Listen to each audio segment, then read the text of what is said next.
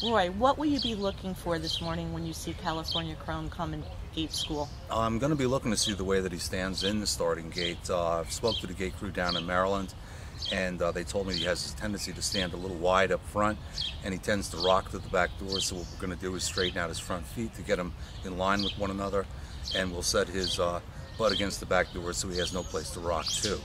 Uh, hopefully he'll keep that position uh, for the break instead of moving forward towards the doors.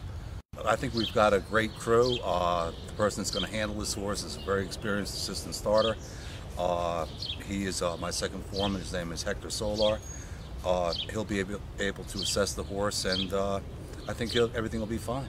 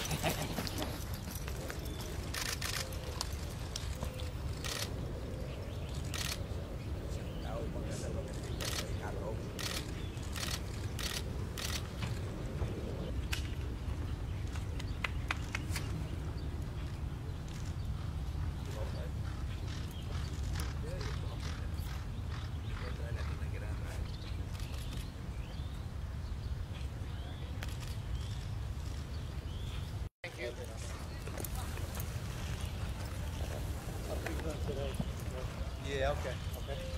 So no for tomorrow.